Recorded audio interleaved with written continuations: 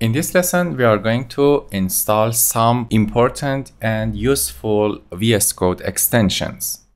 The first extension we're going to install is JavaScript ES6 code snippets. Click on extension icon, type JavaScript ES6 and press enter. And the first item is this. Click on green install button if you haven't installed it already and also check some snippet that it provides for you. For example, if you want to import something, what you need to do is to open your JavaScript file and instead of typing import and then name of the package you're gonna import, type imp and press tab.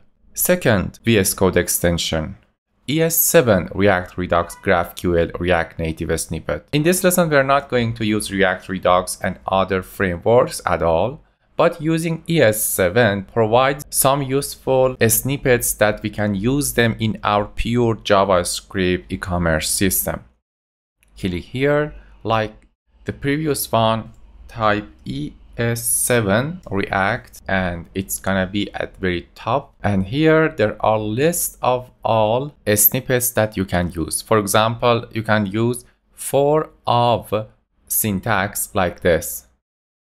Open your server.js and here let's say you are going to create a for of.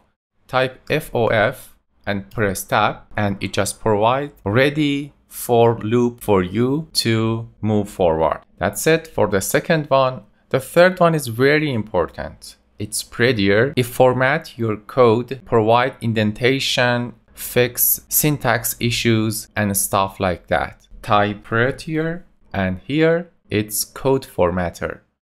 After installing this, Prettier provides some coding rules for you and when you save your file, it apply those rules to your code.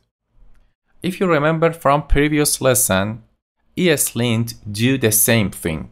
So using Prettier and ESLint together provide some problems. To fix these problems, what you need to do is to install ESLint config Prettier. To do that, open your terminal and install this npm install dash d eslint config prettier.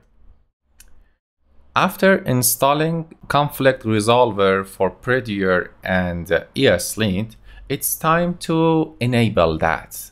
Click here, open eslint rc.js and for the extend section as a last item in this array, type prettier. So by having this setting, if you open a file, let's say I'm opening a screen, home screen, you will not see any errors.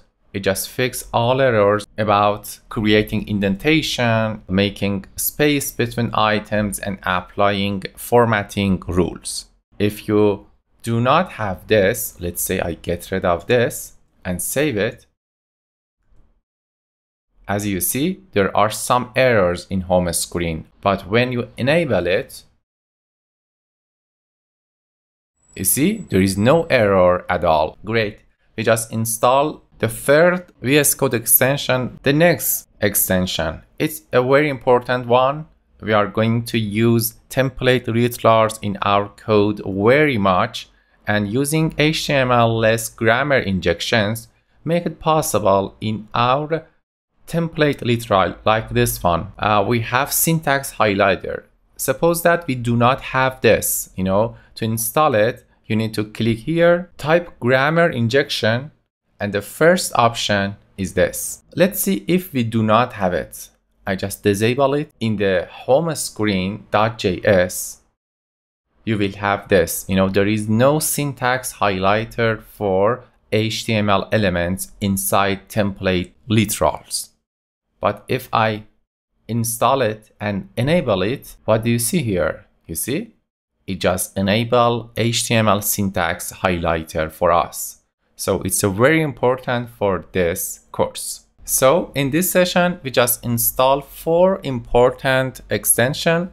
The first one is JavaScript ES6 code snippets. Second one is ES7 React, React Native. Third one is Prettier, and also we have installed a helper extension to work with ESLint, and the last one is HTML-less grammar injection. By having this VS Code extension, you are good to code better and faster in this course.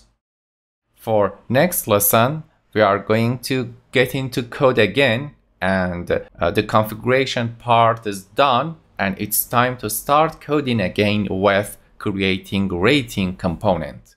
Until that lesson, bye bye.